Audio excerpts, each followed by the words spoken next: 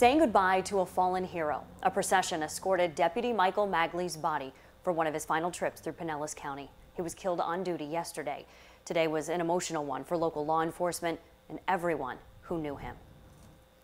We have team coverage tonight of the procession and the investigation into his death. Candace Aviles spoke with those who knew him, but let's begin now with Emerald Morrow live near the funeral home in Holiday. Emerald, lots of people paying their respects along the way today. Oh yeah, Allison, and this is an incredibly difficult moment for this community, for law enforcement, but particularly for that family. And it's moments like this that community matters the most, and they have rallied around this family to let them know that they are not alone in their darkest hour. Now, that show of support was seen all throughout Pinellas County today. And this is something that, again, is just so incredibly important that they do. And on the drive up to the funeral home, you could see people starting to line the streets to pay their respects as they waited for the procession of law enforcement to start. Now that started this afternoon around 3 o'clock at the medical examiner's office on Ulmerton and traveled all the way up to US 19 to the funeral home. Now we are seeing law enforcement from all over the area give support because this is what law enforcement does.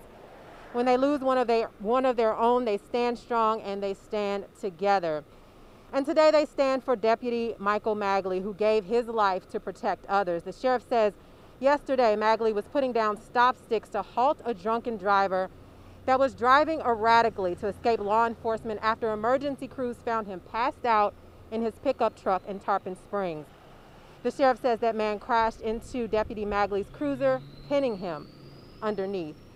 Now, Deputy Magli, he was 30 years old and he had been with the sheriff's office since 2013. And he leaves behind a wife and two very young children. My colleague Candice Aviles, she looks into his life and legacy. Blows my mind when I saw his picture online that I, I just knew, like my heart sunk, and I remembered that picture we had taken with him, and it, it broke my heart. It really did. As friends and coworkers set up a memorial for fallen Deputy Michael Magli outside the Pinellas County Sheriff's Office, Christine Rittenhouse remembers meeting him while delivering gift baskets. It was actually in November. It was it was the week of Thanksgiving. We wanted to give thanks to um, our local heroes, so it was it was just a couple months ago. She says he welcomed them with open arms and was kind and patient with the kids. He just jumped right in and told them all kinds of facts about the job, and you know cracked some jokes, and he was just really easy and he was um, very sweet. His impact on the kids was a positive one. They still remember. She says even though they only met briefly, the loss still hits hard.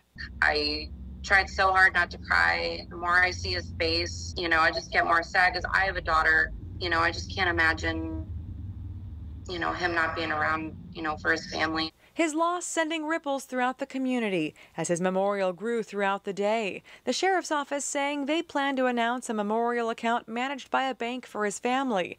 Christine also inspired to act too. We're trying to see if we can come together to somehow um, either send in a donation from the youth group or write a letter to you know his family with the picture that they took expressing our prayers and hoping for healing